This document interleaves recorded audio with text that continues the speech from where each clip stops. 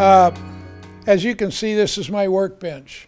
And really, I've been working small lately, so I work a lot at this. Um, but when we saw when I saw something big, obviously I clear it off. But it's the right height, and I don't know. It's just a nice table. So it's what we call the mighty Tannewitz, and I will start it up.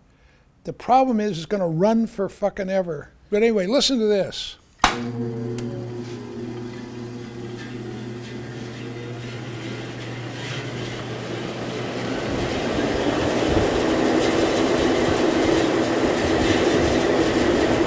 Beautiful. Sure is.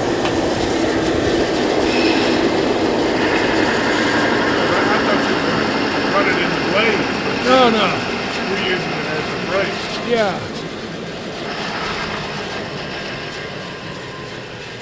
Has the, added benefit of keeping your wheels clean. Well, this thing would run. This thing would run forever if I didn't do Yeah. that. So yeah, um, but it's and for all you that have a this is this is really a good machine. I mean, it really is an amazing machine. I found out one when I put brakes in it one time. I found I phoned Tannewitz, and I said, you know, I need brakes, and I said, do you make the brakes to carry the brake shoes? guy says, yeah. I said, well, I think it's kind of old. He, he said, what's the serial number on it?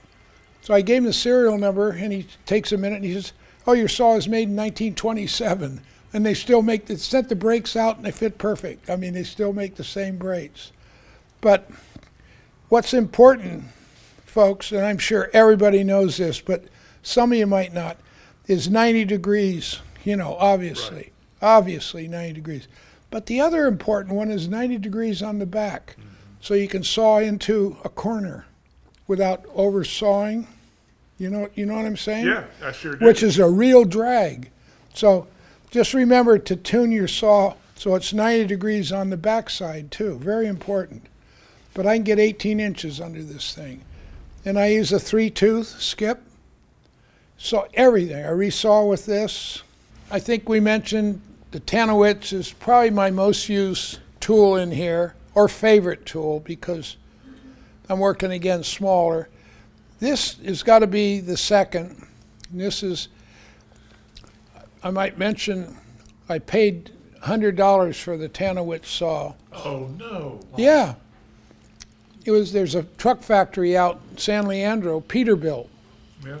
And I guess they got another bandsaw, and they had this out in the yard. And a friend of mine, who goes by there all the time, Ronnie, Ron Terrazza, said, "Hey, there's a, got a big bandsaw out there."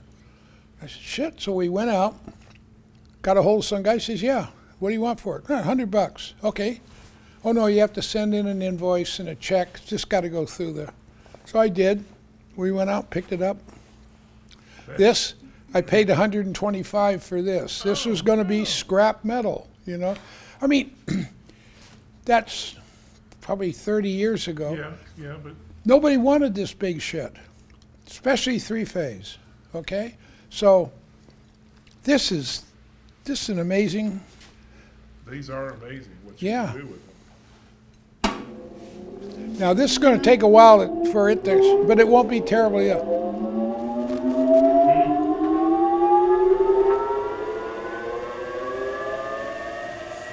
That's why I say they just Now that'll sand. No, it's, there's enough inertia here. Now we, you know, we're going to go have to get a drink, and when we're through, this will stop. that's why But can all you? the people I know just turn it on for, for five or six seconds, and then turn it off and just let it coast. They're cheap. They don't want to spend the electricity. I But think uh, I think can you hear us over this? That's a kind of nice background. It's woody as hell. I, I think they're scared of it. Is what I think. Who me? No, the people who Oh, turn yeah. it off before it gets to full speed. Well, I noticed sanding certain things, like I've been sanding a lot of this uh, large uh, PVC tubing. Right. and the circular sander doesn't want to be sanding one way on one and coming up the other. And Uh-uh. that's when I do just barely start it and sand. And then I, it gets slow, and then I start it a little bit again. So, yeah. Yeah, so you do, Oh, yeah, no, it- do it- that. Oh, yeah, it, it's. Um, but I use this, I, you know, the bandsaw, I cut brass, copper, aluminum, you know, big thick aluminum if I want to. You gotta get it balanced, you know, but once it's balanced, but it's, damn, Fay and Egan, boy, you know, I like cast iron machinery, so. This was hundred and twenty-five bucks. Again, it was gonna just be oh, scrap no. steel. Yeah, I painted it. Or did I? Yeah, I think I did. I, no, I didn't. That's the way it was. And this was a contractor saw, and what would happen, they'd leave them on the job, and the kids would come and steal the ball bearings. But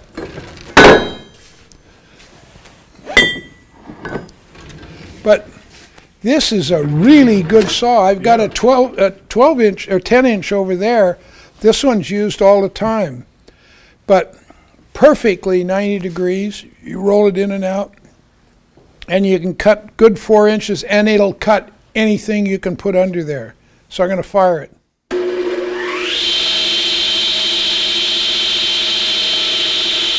that'll take a while too. I'll stop it.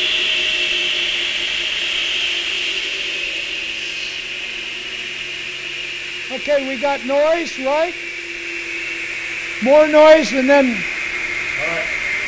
are we ready for the for the 30 inch Oliver Joiner? This is not going to bounce into the blades. is it? We hope not. Ready? Fire! Oh, look how smooth that is.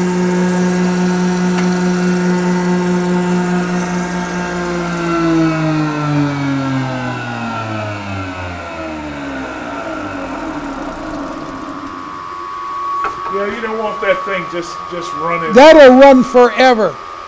And when you get one of these, you get a lot of friends. It's like having a swimming pool. Oh, hey, Garry, can. Yeah, that, no, this is my third favorite. Uh, this is just used a lot. It's typical, I think, modern tool, high speed, sharp. This is low speed, dull, but it'll do all these big things.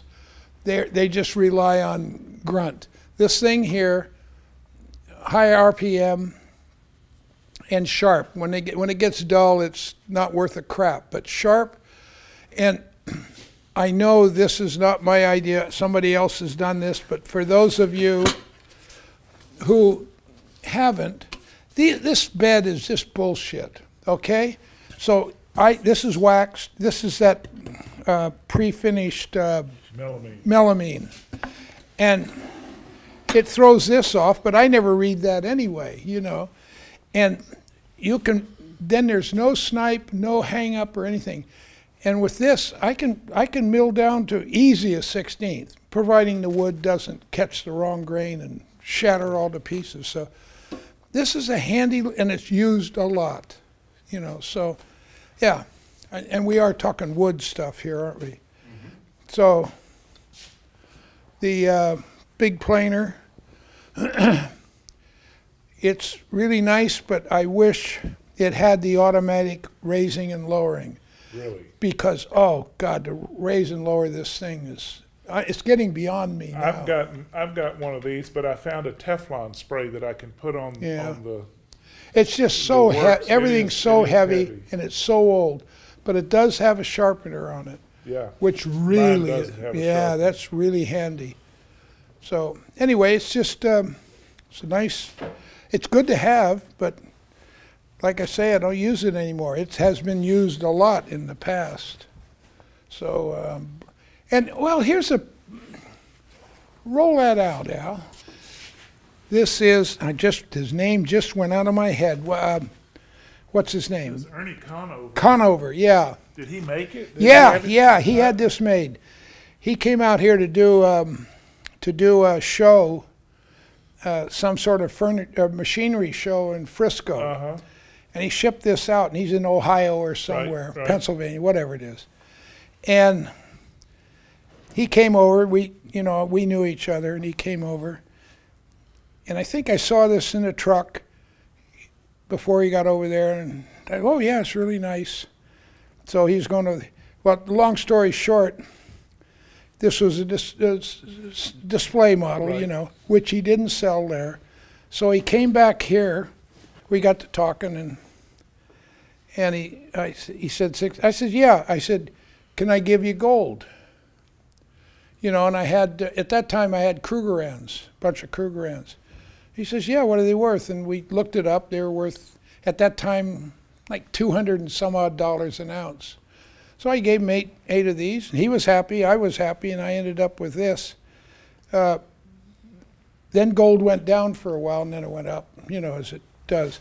But this is a this is really a beautifully made machine. I mean, it's it's never failed me. It's here's here's a Japanese thing. Green they've got for off, red for on.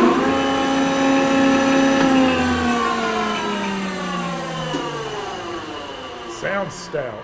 It is oh, it's stout as shit. You can do big stuff in, with this. Which, which, and it's got segmented Right? grousers.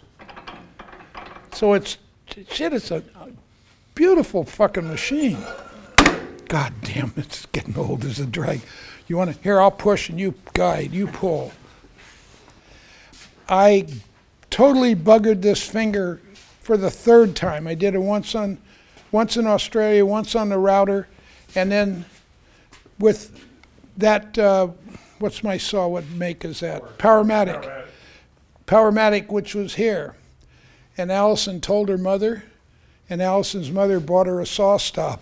Really? yeah, so we have a SawStop now.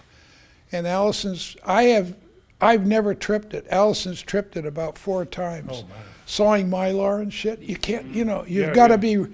So there's the wall of shame. If you can turn the camera around, there, there's a couple blades with the, the gizmo. And it's an amazing. I met the guy and spent quite a bit of time with him. Then I met him when I was up in Oregon at my cousin's. He lived right down the road, Steve somebody. But um, yeah, he sent me that blade, didn't he? Is it signed? Yeah, Steve, oh six. Yeah. Oh no, all of us though, right? Yeah. Yeah, yeah, This is the group photo. yeah. There you go. See? All right. Squirkenberg. So that, Squirkenberg. where did that come from? Friend of mine made a piece of sculpture called Squirkin Wirtz.